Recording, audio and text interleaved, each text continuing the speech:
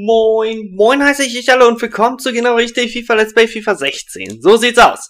Jupp, das Team der Woche, ja, gibt's nicht mehr. Also es gibt kein neues Team der Woche. So sieht's mal aus. Heißt also, das Team der Woche 53 ist das letzte Team. Äh, ich habe auch schon in der Web-App gesehen, ja, die neue Web-App ist raus. Ja, ich habe schon geschaut. Ähm, da ist das neue Team, das erste Team, Team des Team der Woche schon drinne. Apropos Team der Woche schon drinne, hier ist unser Team des Monats Juli. Ja, was ist im Juli passiert? Ich glaube, äh, im Juli hatten wir versucht mit einem dänischen Team theoretisch ja den Aufstieg zu erlangen. Ähm, was leider uns überhaupt nicht gelungen ist. Im Gegenteil, leider sind wir abgestiegen. Und ja, jetzt heißt es theoretisch aufbauen auf äh, auf, neue, auf eine neue Situation. Ganz klassisch, wie ihr es kennt. Das sind die Spieler, die im Team des Monats dabei sind. Guti! Also, dann spielen wir heute mal gegen das nächste Team von euch. Ähm, heißt automatisch, dass das Let's Play eine Folge tiefer, schneller wird. Aber das macht, glaube ich, nichts. Das heißt, Ingolstadt kommt Dienstag und Mittwoch. Denk mal, aber ihr werdet das alles nicht als äh, doof ansehen. So, wir spielen heute gegen das Team von Barry XHD YouTube. Äh, ähm, jo, der hat einige Teams. Äh, wir schauen einfach mal durch. Wir haben zum Beispiel das deutsche Bundesliga-Team. Äh, sieht schick aus. Dann haben wir ein Frankreich-Team. Ja, das sieht eher so lala aus. Erst recht, weil äh, der hier mal so überhaupt nicht in dieses Frankreich-Team gehört. Ähm, da haben wir ein England-Team auch nicht schlecht. Spielen alle in der englischen Premier League, außer die hier irgendwie nicht. Dann haben wir das Serie A-Team. Ja. Ja. Ja, da haben wir aber auch, ne, wohl zweite Liga, ne? Äh, Spanien-Team. Ja. Das würde ich fast schon am ehesten sagen, dass das ja, obwohl, da haben wir wieder diesen Kandidaten, der hier eigentlich normalerweise genau Italien spielt. Also, äh, dann das BBW, BBVAs Team, das würde ich sagen, das gegen das spielen wir heute. Ähm, jo, das gegen das spielen wir heute. Außer es gibt jetzt noch ein besseres Team. Was auch immer das für ein Team sein soll, aber es sieht okay aus. Entschuldigung. Also, wir spielen gegen das Team heute. Und ja, dann kriegen wir mal. Ne? Ähm, 4-5-1-Taktik. Interessant, dass äh, dieser Mann nicht dort mit dem getauscht worden ist. Aber liegt wahrscheinlich daran, dass hier die Chemie dadurch besser ist. Sonst halt das klassische, die Verteidiger ähm, Nähe der Originalposition hingestellt. Ich würde mal sagen, damit kann man leben. Und damit spielen wir heute. So, ähm, äh, Trikots, ja, das Deutschland-Trikot, ne? Machen wir das Deutschland-Trikot. Das ist das deutsche, deutsche Auswärtstrikot. Und ja, dann spielen wir mal. Mit unserem Team des Monats Juli. Ja, so langsam neigt sich dieses Let's Play dem Ende zu. Es ist einfach so. Wir spielen heute noch mit dem Team A, wir morgen mit dem B, dann übermorgen mit dem A August und dann ähm, danach den Tag mit dem B-Team und dann ist Ultimate Team vorbei. Ja, dann ist es aus, aus, aus. Das Spiel ist aus. Ja, Ultimate Team ist raus. Ähm, aber ich denke mal, damit kommen wir, kommen wir klar. Äh, kommen wir, kommen wir klar. Ja, ja. So. Dann schauen wir mal, wie diese Partie heute laufen wird. Mit dem Gegner heute. Ähm, ziemlich viele Teams als Aufwahl, Auswahl technisch. Ich finde das gut, ich finde das wirklich interessant. Was ähm, andersrum auch interessant ist, ich glaube, er ist noch gar nicht mal so, äh, der hat nicht so viele Spieler im Verein oder nicht so viele wertvolle Spieler, obwohl ich habe sehr viele Informspieler gesehen. Also äh, da frage ich mich, warum, wieso, weshalb der nicht vor mir im Vereinsmodus äh, ist bezüglich äh, Spieler. Vielleicht, weil wir jedes Mal wirklich Packs gezogen haben und neue Spieler geholt haben und die auch nicht direkt wieder verkauft haben. Wer weiß. Schiedsrichter kommt aus Südafrika. Vielleicht ist es auch einfach so, dass, dass, äh, dass die Spieler, die da aufgestellt sind, auch die Spieler sind, die die einzigen Spieler sind. Das kann es auch haben, ne? Ja, das kann alles sein. Also wir spielen heute mit dieser Elf. Ja, zwei Männer mindestens, sogar drei, äh, die, die im Team des Let's Plays drin sind. Also von daher merkt man schon, dass es eigentlich notentechnisch gar nicht mal so schlecht war im Monat. Juli. Aber es war eben so, dass das nie so ganz hingehauen hat an Abschluss und damit wir kommen. Ähm, an Abschluss mit dem mit der dänischen Dash-Pokal. Eventuell war das auch vielleicht die falsche Idee, dass wir mit einem dänischen Team angetreten sind und nicht mit einem zum Beispiel äh, anderweitigen Team. Ähm, aber so ist das. Du kannst die Zeit nicht zurückdrehen, kannst nicht sagen, so von wegen, ah, wir spielen doch mit einem anderen Team. Äh, geht nicht. Wir lassen das so. Das Let's Play endet dann so und ja. So. Monat Juli. Ja, was sagt ihr dazu? Im Monat Juli hat, ist die Europameisterschaft beendet worden. Portugal gewann die Europameisterschaft. Ähm, Überraschung, Überraschung aus meiner Sicht, weil ja, Wer hätte das erwartet? Nach so einer Gruppen, äh, nach so einem Gruppenphasenspiel Portugal eigentlich so gut wie ausgeschieden und dann Europameister. Wer hätte das erwartet? Also ich nicht. Und ja, hier haben wir eben dann den sportlichen Abstieg er, der, erlitten. Wir sind abgestiegen und ja, sowas, sowas passiert. Sowas passiert und äh, damit müssen wir theoretisch dann auch leben. Also Klar, jeder andere hätte gesagt, so von wegen Abstieg, oh, zeige ich nicht. Aber hey, wir hier schon. Wir hier schon und ähm, das gehört dazu. Das gehört dazu. Du musst auch mal irgendwann mal absteigen und irgendwann passiert es auch mal. Ähm, was war euer Highlight? Euer Highlight des Monats Juli. Ähm, welches Spiel? Also ich denke mal jetzt, viele von euch haben mittlerweile so ab Monat Juli auch schon äh, diesen Kanal entdeckt für sich und eventuell auch ähm, ja, Videos geschaut. Äh, viele Let's Player auch äh, sind, glaube ich, im Sommer, im, Juli bzw. im August haben Sommerpause gemacht. Wir hier nicht. Wir haben hier durchgezogen. Ähm, wahrscheinlich wird es nächstes Jahr wieder ein bisschen anders laufen. Mal schauen. Mal schauen, mal schauen, mal schauen. Wie das laufen wird. Es war ja eine Idee auch, dass eventuell wir hier eine Prognose machen für die Bundesliga, aber das ist auch alles nur eine Idee. So, Möglichkeit, der läuft da ohne Probleme durch. Also das ist natürlich äh, kontraproduktiv. Das soll nicht passieren. So, und das ist natürlich schlecht, wenn der Verteidiger hier, äh, der Mittelfeldmann Caligiuri hier eigentlich nur dasteht und guckt, äh, ja, was mache ich denn hier überhaupt? ne? Das ist schlecht, das ist nicht gut. Das soll bitte abgestellt werden. Dass die wissen wenigstens, wo sie hin müssen.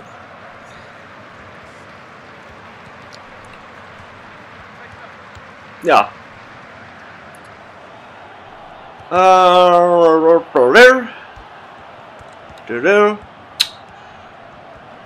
Apropos ähm, am Wochenende ist das Finale von Ryan Jellyfish. Ah, Gott sei Dank, also aus meiner Sicht ist es Gott sei Dank nicht mehr so spannend. Ähm, ihr habt den letzten Teil bestimmt gesehen von Ryan Jellyfish und habt gesehen, dass wir den Titel geholt haben ja, war auch ein bisschen der, der Brand schuld, dass, dass Arsenal das Nachholspiel verloren hat. Äh, was ich überhaupt nicht, also wie gesagt, ich hatte es oft erwähnt. Ähm, hätte ich nicht erwartet. Ich hätte es echt nicht erwartet. 1 zu 0 wieder trifft. 24. Minute Führung. Ja, Führung auf ganzer Linie ist es nicht, aber es ist die Führung. Ja, eigentlich im Endeffekt macht die Abwehr vieles richtig. Vieles, weil sie stehen genau da, wo sie stehen sollen, damit der Spieler da nicht durchkommt. Aber was sie falsch machen ist, sie greifen nicht an. Ähm, theoretisch hätten sie angreifen müssen. Wenn sie angegriffen hätten, wäre das anders gelaufen. Wäre das nicht das 1 zu 0 gewesen, sondern es hätte weiter 0-0 gestanden. So, Führung. Ähm, was ich auch gemerkt habe bislang, äh, anscheinend war das keine schlechte Idee, mit dem Team de, Teams des Monats zu nutzen. Bislang haben wir keins dieser Spiele gegen eure Teams verloren. Ja, bislang. Das kann sich alles noch ändern, du glaub mir mal. Das kann alles noch ganz böse ins Auge gehen. Und später weinst du dann, weil du das letzte Spiel, wie letztes Mal, das war das letzte Mal, als wir ja auch gegen eure Teams angetreten sind, ähm, war das ja so, dass dann das letzte Spiel verloren haben. Ne, das vorletzte, ne? Das vorletzte haben wir verloren. Also, das kann alles ganz, ganz böse ins Auge gehen. Passt schon also. So, wir führen nach 27 Minuten. Hier mit 1 zu 0. Pina verliert den Ball. Es gibt keinen Freistoß. Ist gut. Ist gut für uns. Äh, schlecht für den Gegner. Theoretisch hätte er, theoretisch hätte er Freistoß kriegen müssen. Theoretisch schon. Praktisch gesehen, Gott sei Dank, war es nicht der Fall. Ähm, ja, Stadien. Stadien sind mehr oder weniger überhaupt noch nicht bekannt gegeben worden. Ja, aber durch die, dadurch, dass äh, die Web-App mittlerweile funktioniert, für viele, äh, unter anderem für mich, ähm, für viele funktioniert sie und da kann man mittlerweile das ein oder andere Stadion schon sehen, welche dabei ist. Ähm, ja, also es gibt keine großen neuen, großen Innovations, Innovationen technisch Stadion würde ich dementsprechend sagen, dass wir dann ähm, Wochenende der Qualifikation dafür machen. Für das neue Stadionturnier, für die erste Liga, beziehungsweise für die zweite Liga. Ähm und ja. Wer steigt auf in die erste Liga noch? Das ist eben das Wichtige. Wer spielt gegen uns? Ähm, ich hatte ja schon gesagt, dass das japanische Team äh, was neu dazukommt mit dem neuen Stadion, äh, Barcelonas Platz einnimmt. Das heißt also, dadurch, dass Barcelona wirklich, das Camp Nou kommt wirklich anscheinend doch nicht rein. Ähm, die sollen dann im Olympics spielen, wo ich das, was ich echt nicht so toll finde, ehrlich gesagt, dass man jetzt, aber nun gut, ist eine andere Geschichte. Ähm, ist eine andere Geschichte. Auf jeden Fall, die sollen dort spielen. Das ist ein Foul. Schiedsrichter sagt nix, sagt nix und er sagt weiterhin nix. Ja, wir tun uns sehr schwer, würde ich mal sagen. Also, aber das Team ist ja dieses Mal auch äh, anders aufgestellt. Wahrscheinlich wird es wieder laufen darauf hin, wie die letzten Male auch, dass es äh, an Abschlusszeit sein wird, dass erst wenn der Wechsel, wenn die Wechsel passieren, dass das Team dann erst auseinanderbricht. Und vorher, vorher wird das nicht möglich sein. Äh, das war knapp. Das war höllisch knapp. Das war ja fast das 1 zu 0 geworden. Aber Gott sagen ist es das nicht. So, kein Foul und kein Einwurf, denn es ist Halbzeit. Wir führen hier mit einem 1 zu 0 durch Via in der, in der 24. Minute. Haben sehr viel auf Ballbesitz gespielt. Ja, sehe ich auch so. Aber was willst du groß machen? Was willst du groß machen bei so einer Mannschaft? Ähm, die steht relativ gut da. Du kannst da nicht viel durchkommen und theoretisch mit hohen Bällen, ja, könntest du theoretisch lang und viel weit spielen, aber ich spiele nie mit hohen Bällen. Ähm, hohe Bälle sind eher so Befreiungsschläge. So, Doppelwechsel, jetzt könnte es vielleicht noch was, jetzt könnte es vielleicht was klappen. Dadurch, dass der Gegner wechselt, ist das ja oftmals so, dass der dann die Chemie völlig auseinanderreißt und eventuell, ja, eventuell könnte es jetzt klappen. So. Ja, eventuell. Dankeschön. Aber auch nur eventuell. Vielleicht wird das auch voll das Gegenteil sein, dass wir jetzt hier komplett abkacken. Aber es macht nichts. Es macht nichts. So, Durm. Unser Linksverteidiger. Ach, das war nix. Ja, aber wo, wo ist Caligiuri, wenn man ihn braucht? Theoretisch hätten wir ihn jetzt gebraucht als Anspielstation. Dass der dann nicht da ist, ist natürlich äh, kontraproduktiv.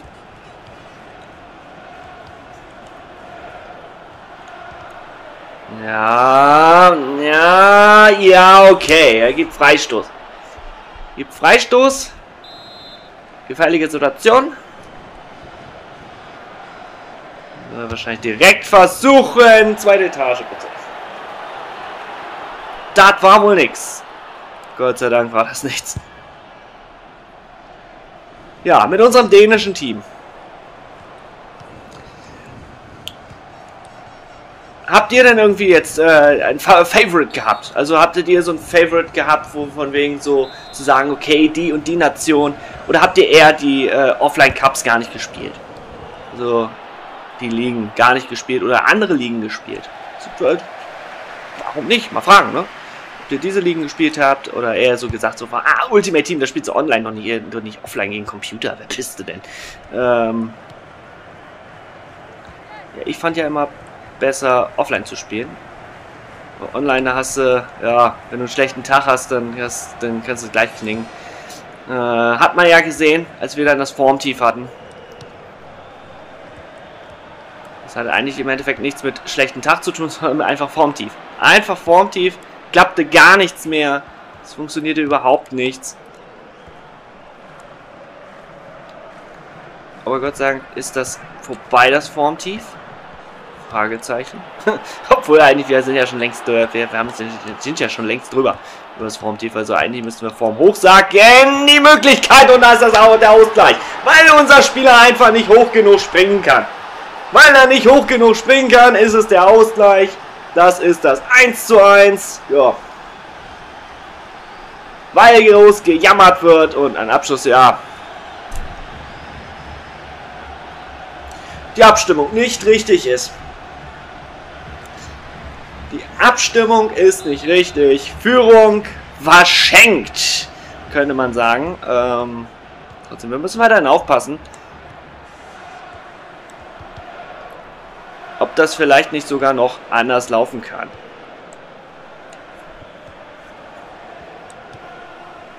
So, Bechmann. Ja, der steht im Abseits. Was willst du machen? Was willst du machen? Achtung, jetzt nochmal hier. Wo willst du hinspielen? Gibt's nicht. Es gibt keine Möglichkeit, irgendwo lang zu spielen. Theoretisch hätten wir nach hinten laufen können. Ja, wir wären aber nicht mitgelaufen. Die wäre nicht mitgelaufen. Und dementsprechend...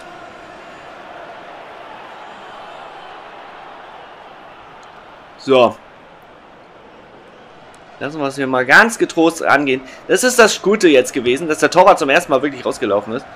Sonst ist es ja immer so, dass die Torhüter dann nicht rauslaufen. So, jetzt wieder. Also dann taktisch gesehen macht der Gegner das richtig gut. Nimmt drei Mann mit.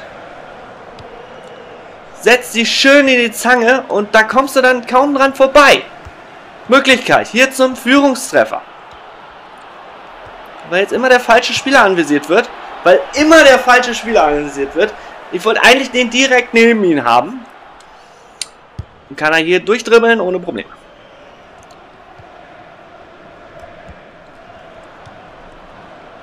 So. Weiß gar nicht, ob wir es schon unentschieden mit unserem Team des Monats hatten. Schiedsrichter sieht das nicht als faul an.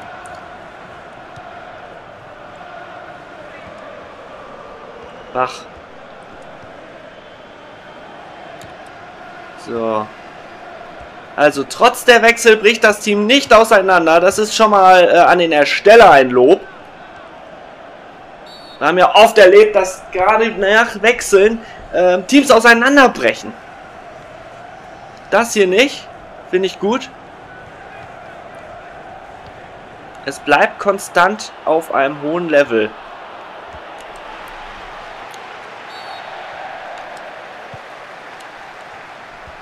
Und es bleibt auch hier konstant mit dieser Zange. Das ist äh, echt schwierig. So, unser Innenverteidiger. Ja, der als ZDM eingesetzt wird hauptsächlich.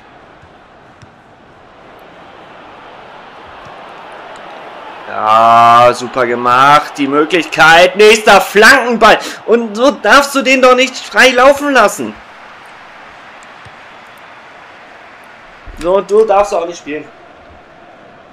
So darfst du das nicht spielen. So, nächste Möglichkeit. Also, dass das Spiel heute so schwierig wird, hätte ich jetzt nicht mit gerechnet. Und nächstes Foul, nächster Freistoß, nächste Möglichkeit für den Gegner.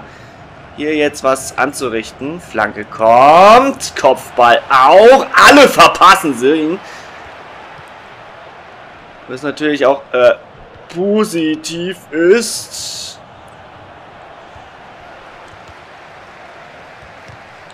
Ja, wieder die Zange. Also da müssen wir jetzt mal...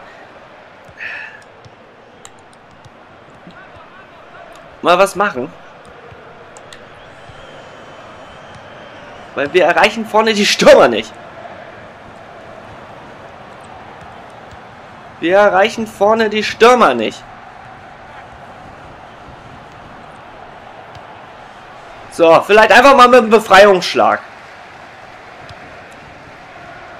So, es gibt keinen Einwurf, weil er das so gekonnt gut macht.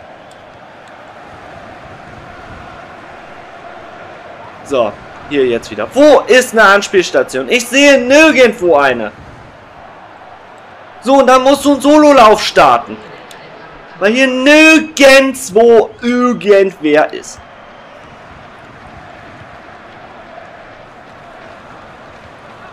Also. Doch noch am Ende dann kein Sieg. Das wäre der erste kein Sieg. Aber das Spiel läuft ja noch. Möglichkeit und der Schiedsrichter sieht ein Abseits. Es ist Abseits. Das ist dieses kackschiefe Blickdings, ne? Ich hab gedacht, dass er auf gleicher Höhe ist, deswegen versuchst du mal mit Risiko, aber nö, ist nicht auf gleicher Höhe. So. Ja, unentschieden. Das war heute nix. Das war heute nix.